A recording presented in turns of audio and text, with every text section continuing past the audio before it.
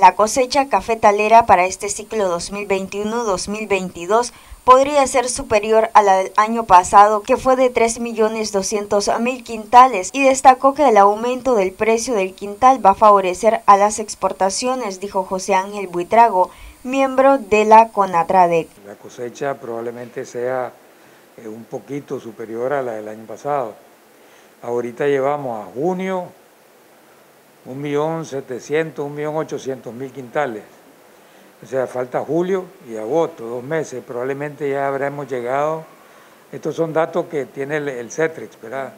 Este, en julio y agosto probablemente se terminó de recolectar la, parte final ya de la cosecha y puede ser que logremos superar el número, el volumen, pues, ¿verdad? Aunque todavía hace falta que todo el proceso de, de trillado, de selección, de todo esto, que al final nos vamos a dar cuenta hasta, qué sé yo, deberíamos, deberíamos de darnos cuenta del final de la cosecha ahorita en septiembre, el 30 de septiembre, que termina el, año, el año cafetalero, para que comience en octubre el año nuevo de café que sería 2022-2023, ¿verdad?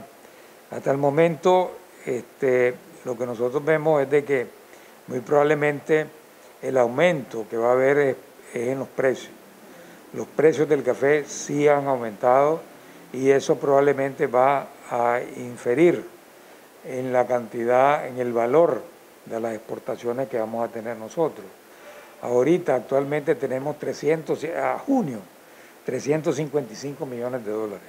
Haría falta, qué sé yo, unos 150 mil quintales más para llegar a los 5 millones y pico. Buitrago agrega que el precio del quintal oro ronda los 220 dólares. En términos de precio sí, va a ser mejor, pero el volumen no creo que sea así exagerado, pues inclusive todavía no ha comenzado la cosecha, ¿verdad? La cosecha, el raliteo que le llaman, el, graneo, que, la gente arranca antes de que comience ya la, la maduración completa. Esto eh, comienza ahora en finales de septiembre, octubre ya comienza a aumentar el graniteo y eso va a darnos una idea de cómo va a salir la cosecha. Noticias 12 Darlene Telles.